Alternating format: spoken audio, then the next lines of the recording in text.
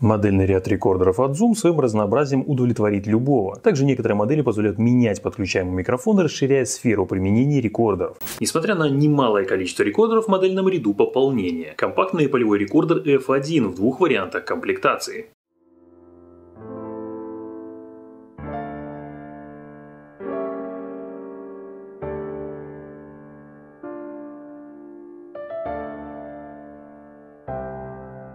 Упаковки разделены по размеру и отличаются комплектацией. Младший и более дешевый содержит сам рекордер, петличный микрофон с фиксируемой гайкой, клипса на корпус для фиксации на одежде, три сменных ветрозащиты для петлички, крокодильчик для закрепления на одежде, пара батареек и мануалы. Увы, но Zoom перестал ложить карты памяти в комплект с рекордером. Хотя бы на 2 гигабайта флешка была бы кстати. К самому рекордеру еще вернемся, а сейчас возьмем коробку побольше, в которой нас встретит все тот же рекордер, но с другой комплектацией. Помимо самого рекордера в комплекте сменный направленный микрофон микрофон, именуемый пушкой. Большая ветрозащита для него, антивибрационный подвес для закрепления на камере или зеркальном фотоаппарате. Также на нижней части подвеса есть стандартная резьба для стойки. Витой кабель мини-джек для подключения к камере и по стандарту пару батареек и мануалы. У каждого комплекта есть свои плюсы и минусы, и каждый решит сам для себя, какой выбрать в зависимости от того, как вы собираетесь применять рекордер. Взглянем более детально на новое творение от Zoom. F1 представляет собой очень компактное, но производительное устройство. Две рейки на задней крышке выполняют две функции функции. Одна – это закрепление на ремне. Просто продеваете ремень через них и надежно закрепляете на поясе. Второе – это установка антивибрационного подвеса из комплекта подороже.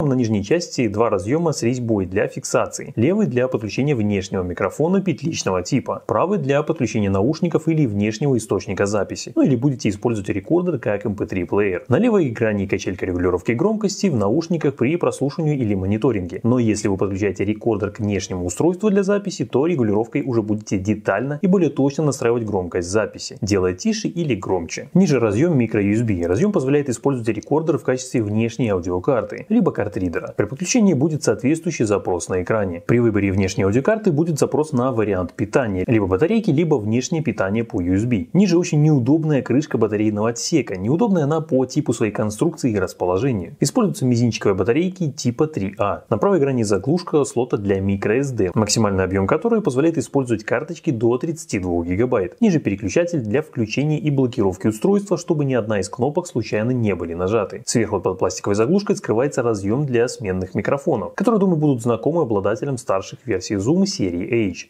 Фиксируются капсули с помощью защелок, поэтому случайно вы ничего не потеряете. Далее идем к органам управления. На передней части управляющие клавиши. Первая позволяет выбрать режим записи. Максимальное качество записи это 96 кГц и 24 бита. Далее функция Low Cut, то есть отсекание низких частот шум ветра, вентилятора и прочие раздражители. Выбирайте вариант, который вам наиболее приемлем. Следующая кнопка это лимитер. Он по сути не дает вашей записи быть испорченной, снижает перегрузки и громкие пики. Разумеется, они будут, если постараетесь, но микрофон не потеряет сознание от перегрузок. Последняя в ряду кнопка позволяет выбрать несколько пресетов усиления микрофона от низкого до высокого при подключении петличного микрофона. При установке микрофона на верхний разъем управления отсутствует. В этом месте будет выведено название внешнего микрофона, а усиление самого микрофона будет осуществляться непосредственно на корпусе записи внешнего устройства. Далее по управлению большая утопленная кнопка записи. Случайно не нажмете, нужно втопить. Выше вертикально расположились пару кнопок управления прослушиванием записи. При прослушивании кнопка эффектов меняет свои функции, позволяет ставить на паузу, листать и удалять записи. Наблюдаем мы это все на небольшом монохромном дисплее, который можно сделать контрастнее, установить время подсветки. Экран хороший и даже на солнце его будет прекрасно видно. С настройками, я думаю, покопайтесь сами, их не так много, зачем же лишать вас удовольствия.